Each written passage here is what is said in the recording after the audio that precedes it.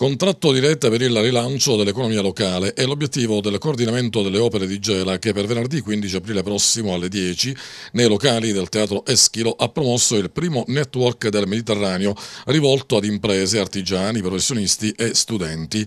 Prevista la presenza tra gli altri del vice sindaco Simone Siciliano e di Massimo Barbieri, amministratore delegato di Enimed. Continua il lavoro del coordinamento delle opere, non eh, lavoriamo più solamente sul piano sociale ma la necessità di andare a trovare eh, comunità eh, collegamenti e rete nel, negli altri settori è una delle peculiarità.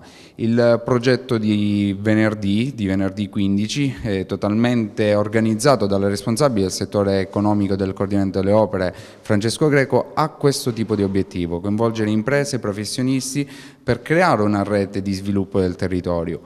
Eh, Gela è una città abbastanza particolare in questo periodo, difficoltà di lavoro, difficoltà economiche che possono essere superate solo ed esclusivamente con il supporto di tutti, con la comunità delle imprese locali, lavorare insieme per lo sviluppo economico della città. L'idea nasce dall'esigenza di promuovere la cultura dell'incontro tra le persone che compongono le imprese.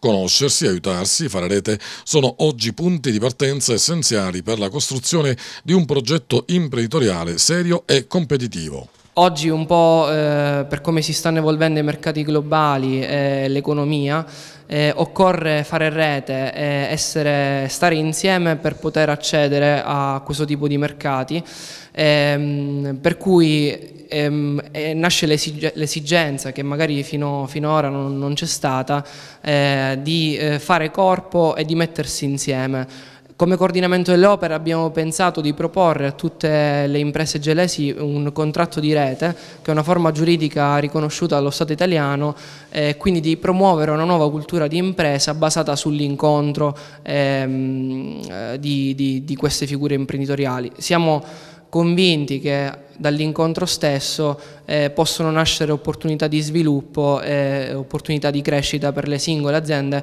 che poi ne faranno parte.